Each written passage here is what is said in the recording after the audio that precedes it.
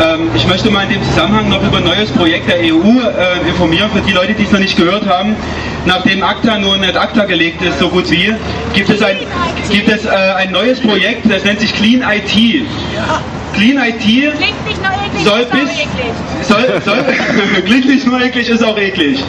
Es soll bis 2014 komplett installiert sein und dafür sorgen, dass die Internetprovider gezwungen sind, äh, illegale und terroristische Inhalte aus dem Netz zu nehmen.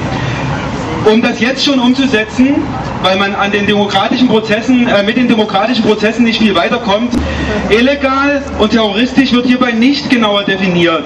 Das heißt, sie werden gebeten, das zu machen, sie werden unter Druck gesetzt, äh, uns uns ruhig zu halten. Das heißt, es betrifft auch die alternativen Medien. Das trifft die Protestbewegungen ganz stark, die natürlich gegen dieses System arbeiten und deswegen vielleicht als illegal eingestuft werden. Wer weiß das schon? Nehmen wir mal an, ich habe eine Seite, das passiert gerade in Russland aktuell mit der Drogenpolitik, eine Seite, die das antikapitalistische System anprangert. Die nehmen sie einfach vom Server.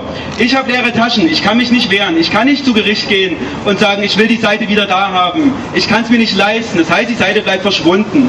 BGE! BGE! Kannst du mir das? Ja, ist doch wahr. Ja. Das ist Kein- immer bei dem Thema. Man kann sich Ja. nicht leisten, man kann sich nicht leisten, zu demonstrieren oder aufsässig zu sein, Ja, kannst du das weil Mikrofon man hierher halt geben oder so? von der Gesellschaft. Ja, da, da gibt es viele, Probleme. Also das ist pauschal kann ich das nicht sagen. ne? Das ist eine sehr weitreichende Reaktion.